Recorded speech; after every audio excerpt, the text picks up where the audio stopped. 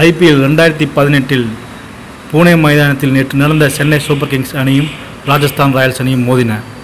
Toss வென்ற Rajasthan Royals அணி பவுலிங்கை தேர்வு செய்தது. ரகனேவியால் முதலில் பேட் செய்ய அழைக்கப்பட்ட சென்னை சூப்பர் கிங்ஸின் தொடக்க ஆட்டக்காரராக சேன் வாட்சன் மற்றும் அம்பத்தி ராய்டு ஆகியோர் களமிறங்கினர். எட்டு ரன்களில் ராய்டு அவுட்டாக வாட்சனும் ரெய்னாவும் ராஜஸ்தான் ராயல்ஸ் அணியின் பந்து வீச்சை துவம்சம் செய்தனர்.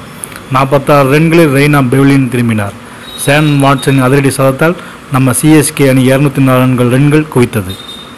இருநூத்தி அஞ்சு ரன்கள் எடுத்தால் வெற்றி என்ற இமாலய இலக்கை எதிர்கொண்டு கிளம்பிய ராஜஸ்தான் ராயல்ஸ் அணியின் தொடக்க ஆட்டக்காரர்களாக ரஹானேவும் கிளாசனும் களமிறங்கினர். ஆரம்பம் முதலே பேட்டிங்கில் சொதப்பிய ராஜஸ்தான் ராயல்ஸ் அணி முப்பத்தி ரெண்டு ரன்களுக்கு மூணு விக்கெட்டுகளை இழந்து தடுமாறியது. அதன் பின்னர் பட்லர் பென் ஸ்டோக்ஸ் ஜோடி நிதானமாக விளையாடி அணியை மீட்கும் பணியில் இறங்கியது. பதினேழு பந்துகளில் இருபத்தி ரெண்டு ரன்கள் எடுத்த நிலையில் பட்லர் அவுட்டாக அடுத்த சில ஓவரிலேயே பென் ஸ்டோக்ஸும் பெவிலின் திரும்பினார்.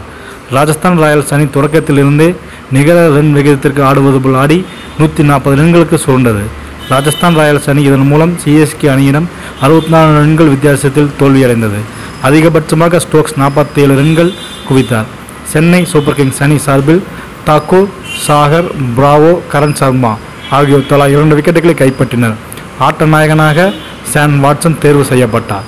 இதுவரை நான்கு போட்டிகளில் விளையாடியுள்ள சென்னை சூப்பர் கிங்ஸ் அணி மூன்று போட்டிகளில் வென்று புள்ளிப்பட்டியில் முதலிடம் பிடித்துள்ளது.